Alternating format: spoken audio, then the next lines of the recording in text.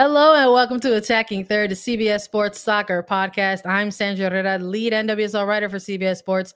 Joined today, as always, by my colleague and co-host Lisa Roman, broadcaster and analyst for CBS Sports. On today's episode, we are thrilled to discuss an Arnold Clark Cup preview. Before we get into that, a reminder to follow us on Twitter for all breaking news at Attacking Third. And if you're listening to this as a podcast, go ahead and please give us a five star rating and review on Apple Podcast and Spotify. I'm so excited to chat a little bit about this first inaugural Arnold uh, Clark Cup. You know, it's it's it's news for us on the CBS side of things as well because we're going to be uh, host, right? Like broadcast host of this actual tournament. But uh, I'm excited to to dive into all things Arnold Clark with you. How you doing, Lisa?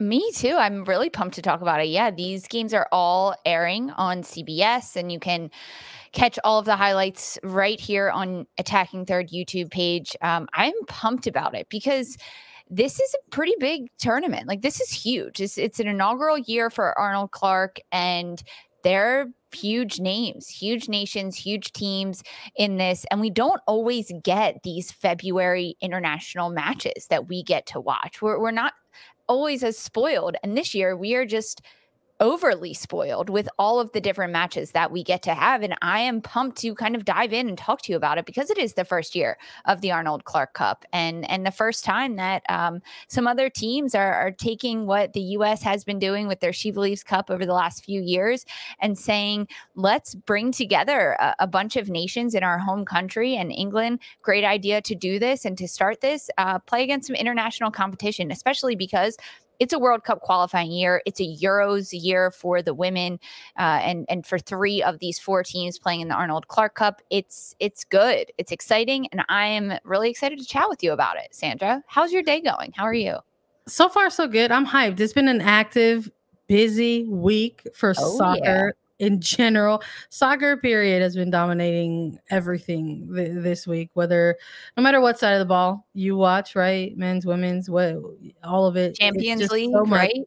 Lots of coverage. League. We got, you know, CONCACAF women's qualifiers. We've got She Believes Cup, right? There's, uh, you know, Arnold Clark that we're going to take a dive in uh, on right now. You know, there's there's another tournament that's going on with French, uh, French's, uh, France, excuse me, France's uh, women's national team. Yep and they've got the Tournoi de France, and it's got you know other teams that are lined up: Finland, Netherlands, Brazil. So it's like so much happening in this international window. It's like, excuse me for uh, you know stepping over my words or failing to get them out. I just we've been doing so much, even on our side, to try to do our best. Oh yeah, uh, to go ahead and and cover these things but let's let's exactly like as a fan you're just absorbing it all and digesting all of this wonderful football across the world and as content creators in the media of it we are still we're trying we're to digest absorb it all and then also like regurgitate it out yeah. where our our fans our readers our listeners so uh, we're here and we're doing it and we love our jobs. We're we're blessed sandra. Yes 100% let's talk a little bit about I don't want to call them copycats, but there's we're already talking about we're already talking about how there's multiple uh, mini tournaments, right, that are taking place, kicking off this week. We previewed She Believes Cup, right, on the United States side of things. It's going to have uh, Iceland. It's going to have New Zealand. It's uh, you know going to have uh, the introduction of Czech Republic in, involved in that uh, tournament. Now we're going to look at uh, Arnold Clark, and I think what's standing out the most, right in in this in this tournament uh, is that it's going to be four teams who are all ranked in the top 10 of the FIFA rankings. It's a six match tournament hosted by England. You've got Germany, Spain, Canada. So we're talking number six, you know, eight, nine ranked teams in, in, in the world, round robin style matches all across England. Matches are going to be hosting uh, Riverside Stadium, Carrow Road, Molineux and Wolverhampton. So lots of opportunities, right, to, to check out some different facilities. Same exact dates, right? The same window of time uh, for all these mini tournaments uh, going from February 17th all the way through to the 23rd. In terms of the fixtures that folks can keep an eye on, it's going to be England and Canada kicking things off while Germany and Spain go head to head on February 17th. So you should probably watch that today if you're listening right now. Uh, followed by England and Spain, Canada and Germany on the 20th. And then to close things out, England and Germany will go head to head while Spain and Canada do get out on February 23rd. So, in terms of these fixtures ahead of us, Lisa, are there Mhm. any in particular that you're like really curious to sort of circle that you really want to pay attention to? Yes, I mean, these are top teams. All four of these nations are top 10 in the FIFA rankings right now. So any single match that you throw on is going to be good competition. But for me, Canada versus Germany on February 20th, it, it's a middle match day. So it's uh, the middle of the three days for both of these teams. Um, Canada starts against England and Germany starts against Spain. So when they meet up on February 20th, they'll already have one game under their belt, which is, I think, really good for both sides to get competition already in before they face each other. But Germany is they're a powerhouse. They're number three ranked team in the world in the FIFA rankings. And Canada is coming off of a winning the Olympics. They won gold in Tokyo last year. Um, they do have a good relationship against each other, or, rather, playing with each other over the last few years.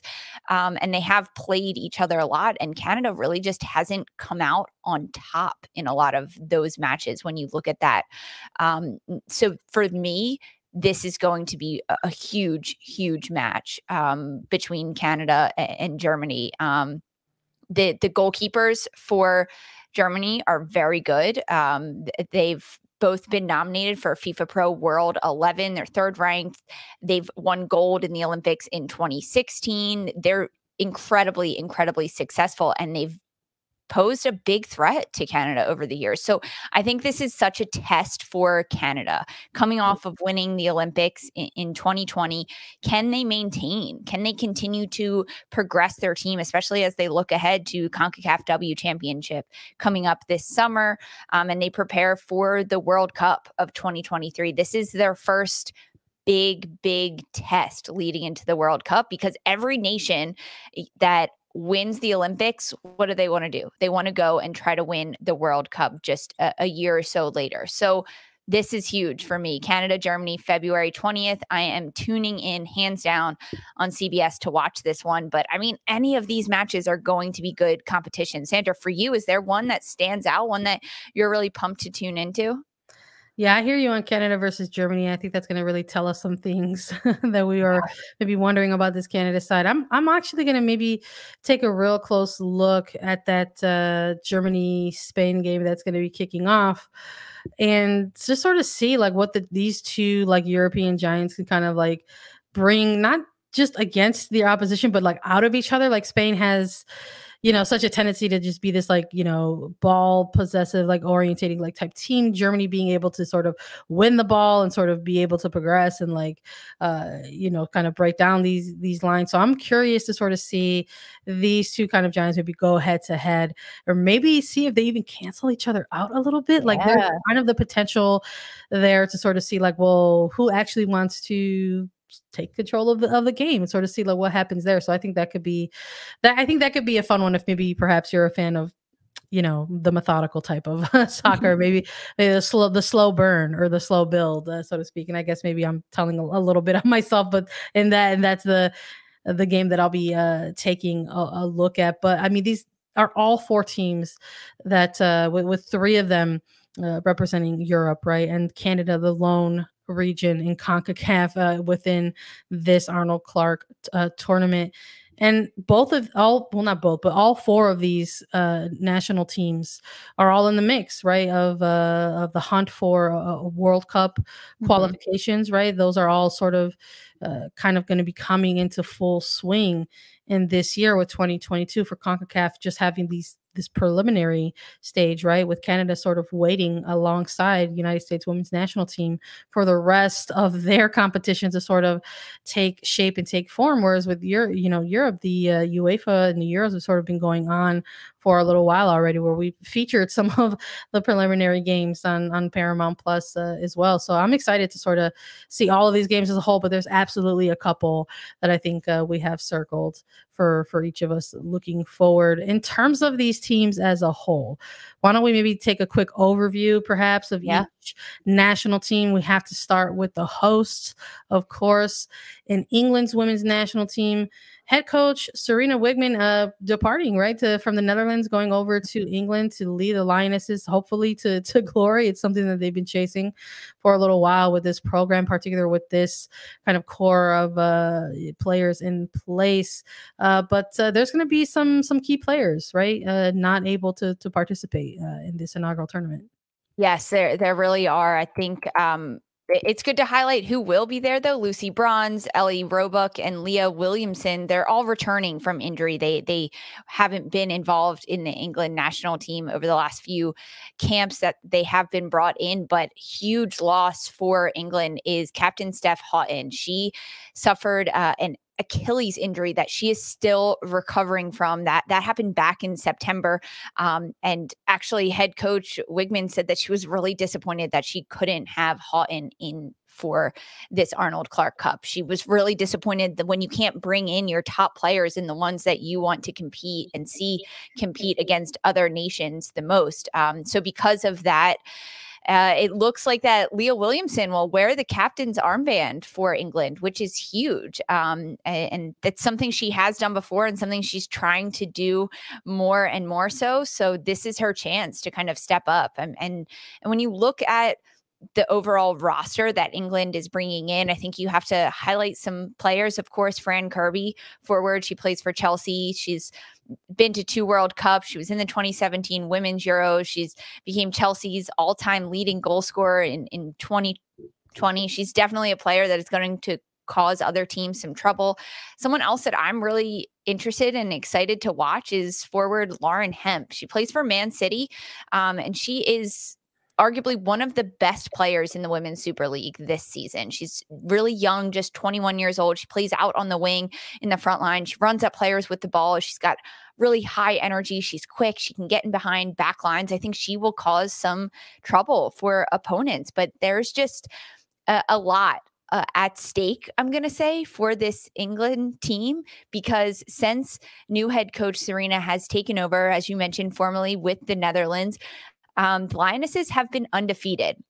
Now, they've only played six matches and they've scored 53 goals in those six matches and they've conceded zero goals like these stats are crazy. So I think the competition for England is maybe why they looked to host a tournament of this caliber with three other nations that are in the top 10 rankings right now in the world. So they could face some good competition. I mean, the last match that England played was against Latvia. Um, if, if you didn't watch these highlights or see this game, go back and watch it. The score at the end was 20 nil to England. They scored 20 goals in this match. And now they they go and they entered this Arnold Clark and they have to face off against Canada, gold medal winning Olympians. So I think the shock factor for England is going to be there when they step on the pitch for the first time in today on, on Thursday in this um inaugural cup for the Arnold Clark Cup. Yeah, I'm with you. I think when you look across all the lines, there's a number of players that we're probably going to see for England take the pitch. Uh, but with you in terms of uh, the, these Manchester United players that could possibly be coming out here, or even Manchester City players. I'm, I'm going to be looking at Alessia Russo to to maybe get involved in the mix there in, in terms of the attacking line. Uh, and we'd like to maybe draw some comparisons, right, for, for our American audiences to sort of lean into, right? There's Rachel Daly, who's actually listed from the Houston Dash as a defender, though she typically plays in the higher attacking role for Houston Dash. But even for somebody like Alessia Russo, who has experience experience at the collegiate level, right? A former Tar Heel, now playing, uh, you know, overseas with Manchester United, representing England's uh, women's national team for some years now. So there's there's a lot of different connections there. But I'm going to be looking for her on the uh, the attacking side. Maybe look take a look on the defensive side of things at Millie Bright. You know, a FIFPro Best 11 there's a number of players across that. As the host, I think they're looking to maybe come out here and probably, you know, impress a little bit, maybe dominate. I think it's there might be a little element of pressure there, right? You're you're putting together this this event, and if you come up short, you know, and sometimes there's the, those negative narratives Agreed. that come around it.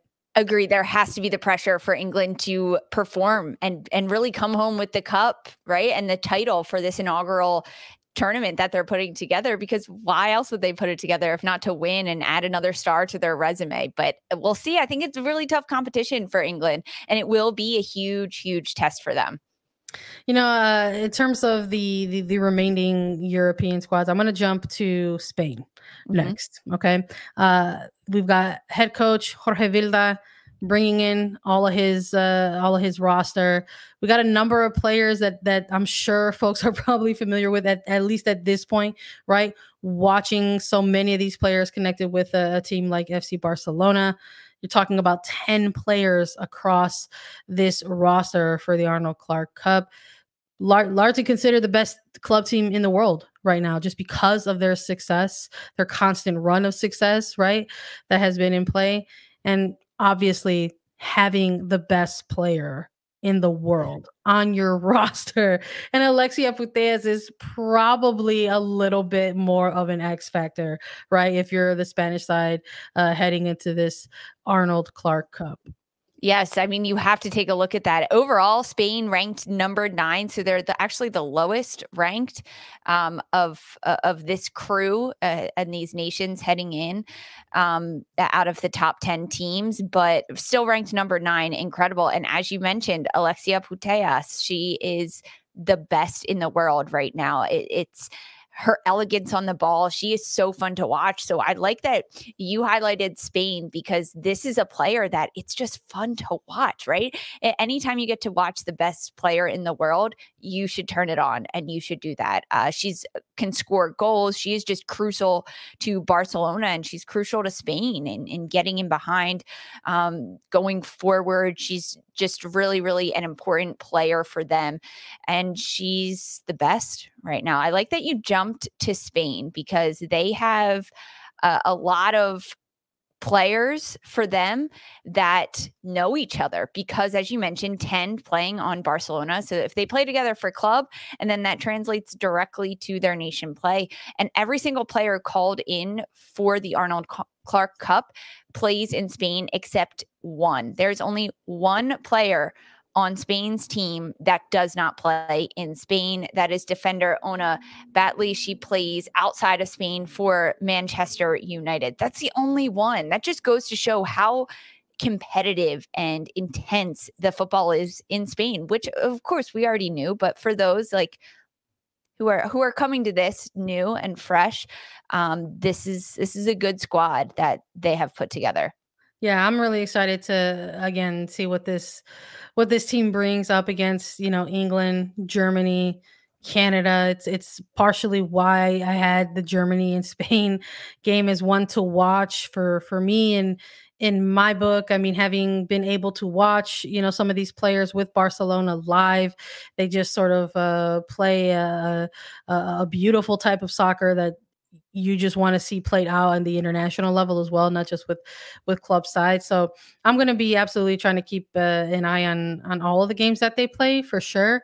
Uh, with so many of these different players, hopefully coming in and out and being able to to get different looks, right? Because when you're playing this sort of round robin style tournament, things like you know minutes management and, and player rotation will obviously come into play. So I don't expect you know 10 players from barcelona to be like getting all three like full 90 minute matches although we'll see. I you know we'll we'll see what jorge has up his sleeve uh, uh, for this one but i'm absolutely thrilled to see uh you know sandra panos in, in goal hopefully in, in some of these matches. You know strong in net strong hands. I love to to see her uh, you know blocking shots and stopping shots. Mapi leon hopefully uh, able you know to be fit out there and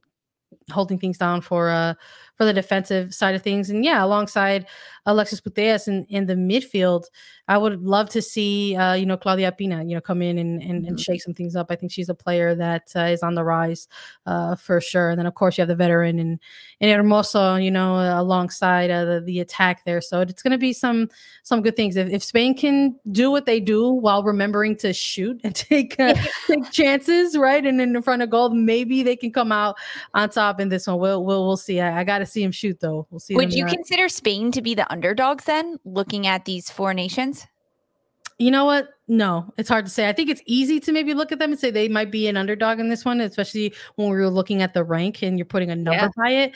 But I don't know. I think uh, I think maybe I would put uh, uh, the Concacaf uh, region in this one is considered the underdogs, and we'll get to them quick. But we can't. Uh, we're gonna round out the uh, the European side of things here by diving into Germany a little bit highest uh, you know one of the highest ranked number three in the world in terms of this uh, in terms of this tournament but they're coming into this inaugural cup uh, as invitees uh, from, from england missing some some big names uh, going into this tournament lisa they they are they're missing uh, alex Popp and bayern munich sydney Lohmann and Lyon, Jennifer Marozsan. Um, a lot of big, big names missing. Also for Chelsea, Melanie Leupolz, excuse me for that one. Um, yeah, a lot of big names. There were a lot of different roster changes for this one. When the initial rosters dropped, there was a not a lot of names listed that ultimately couldn't be called in. Seven players that were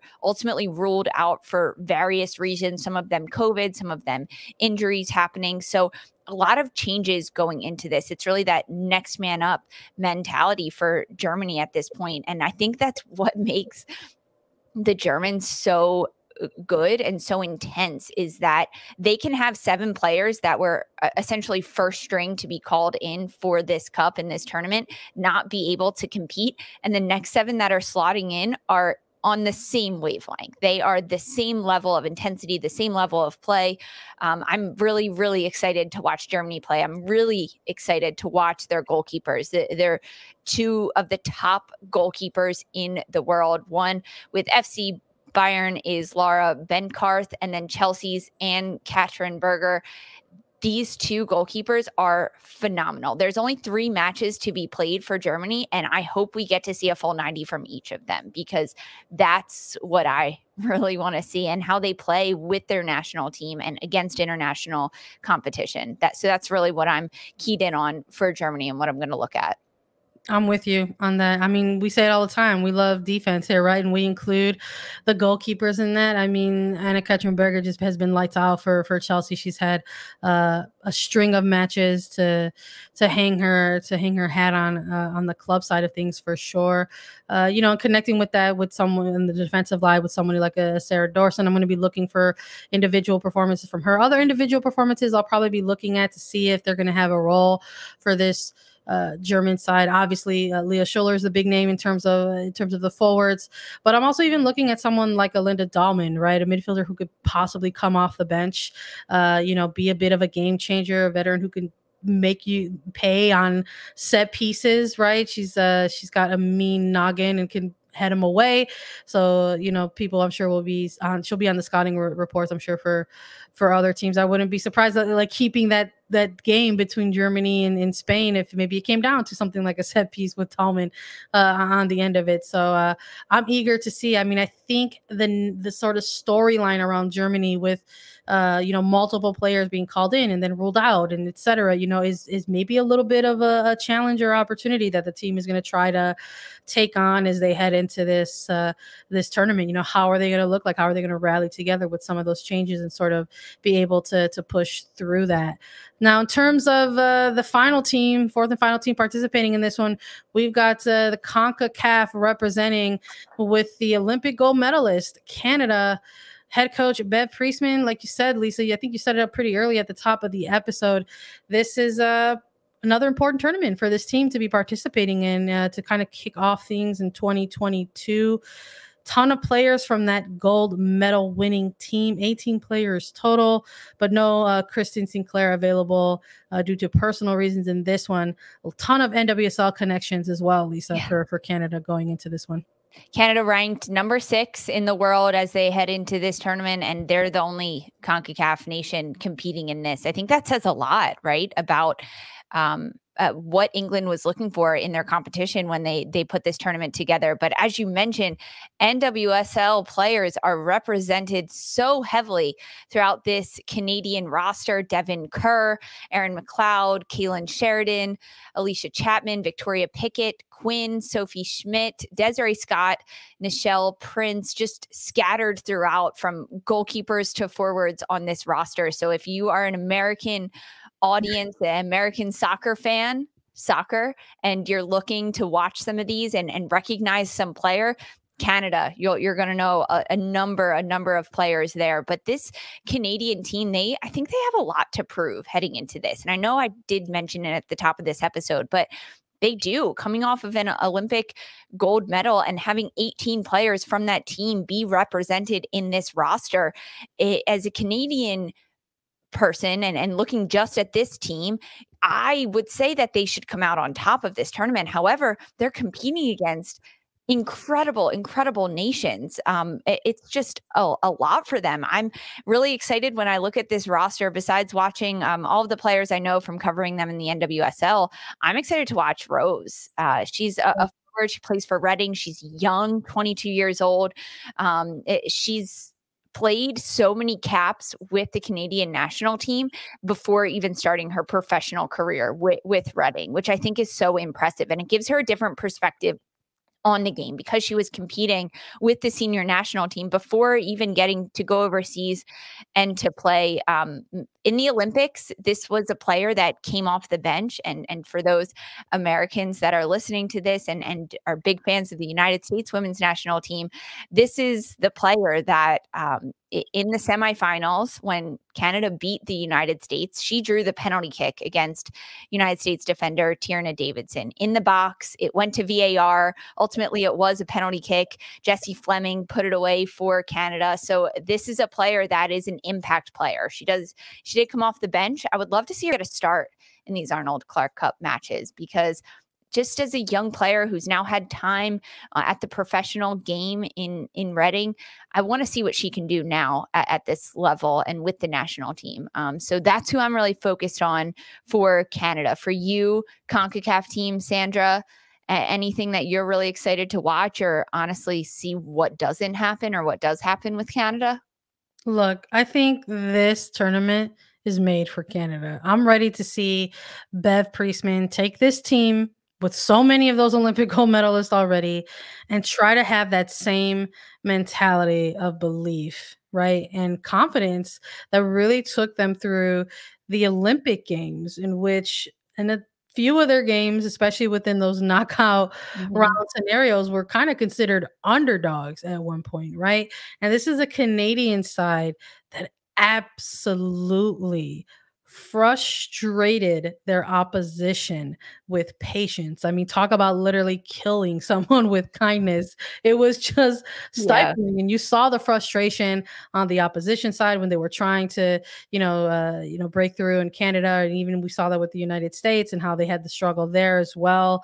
Uh, but I'm you're absolutely correct. I mean, I'm gonna be keeping an eye on on individual performances throughout uh, this tournament, uh, especially for for Canada. I mean, we mentioned no Christine Sinclair, so I love that you mentioned Deanne Rose for forwards. You know, this is an again there there's an opportunity there, right? You don't have your uh-huh. longtime captain, your face of this Canadian women's national team uh, for for so long. So I'm looking for Team Canada to maybe get us some different looks in in the attack uh, if that's something that they want to utilize this tournament for. Now, if they're going to try to utilize it similar to what they did in the Olympics, I'm not too sure if we're going to see some breakthrough attacking tactics.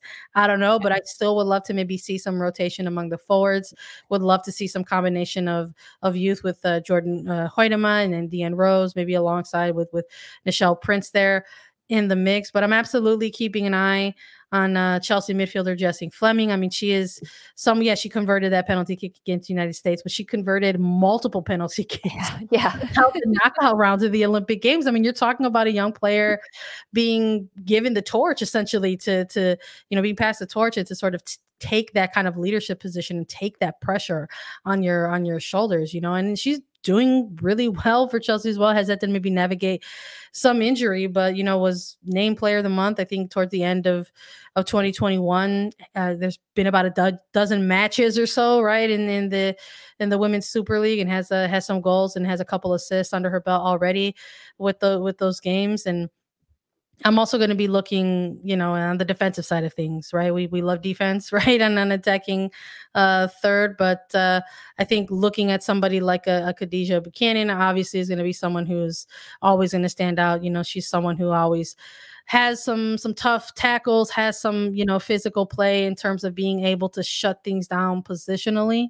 So that's absolutely uh, someone on the defensive side that I'm going to be uh, paying attention to, and uh, I'm going to be rooting for Canada. I would love to see them uh, frustrate some European opposition. Uh, let's go. Let's let's see. It's everyone. It's it's going to be interesting to see a Canadian team try to tackle a tournament as maybe a, with a little bit of a target on their back, right? You yeah. know, gold medal winner. So uh, it'll it'll be interesting to see for sure.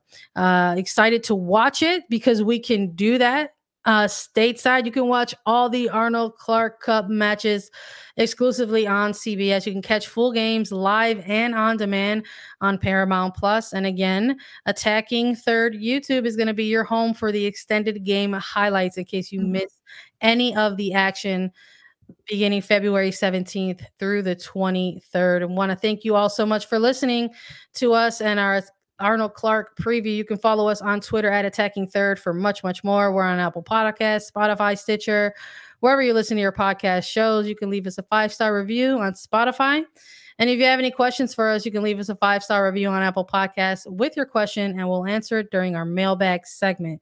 We're also available as video. Subscribe to youtube.com slash attacking third. And we'll be back on tomorrow with more NWSL team by team previews for Sandra and Lisa Roman. This was Attacking Third.